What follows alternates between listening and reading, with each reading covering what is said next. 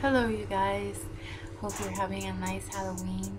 And um, this is my look. I didn't do a video for, you know, step by step of it because I was going really slow and it took me forever. But um, I wanted to show you guys, you know, it. And um, I think it came up pretty good at work.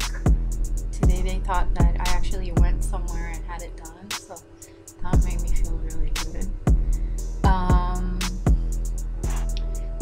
basically, I I'll tell you what I used. You know, I put um, I couldn't find.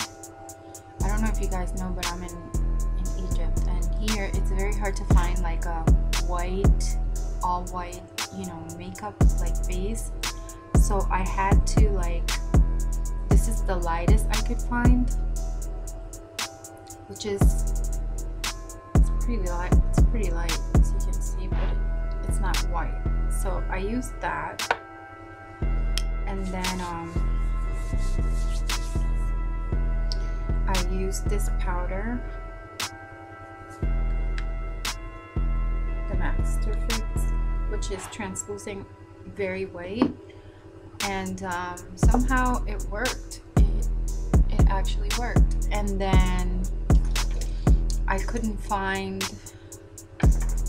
out here black uh, like paint you know like theater paint. So what I used is a normal my eyeliner is so tiny.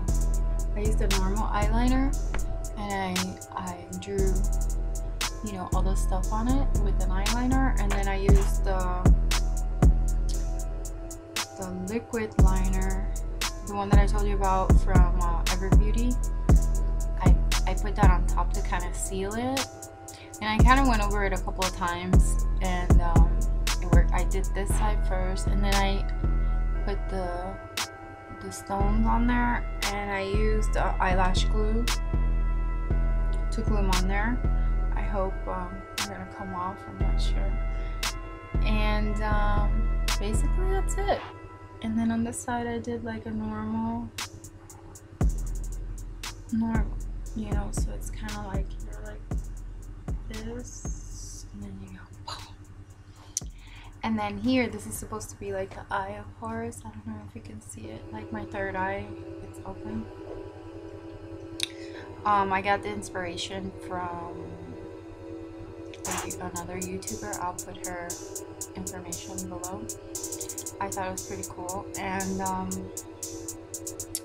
that's it, you guys. So uh, I hope you like it. And um, yeah! it was a lot of fun. Uh, and some people were actually scared when I walked in the street, but it was really funny. So anyway, you guys. Um, Have a happy Halloween. have a of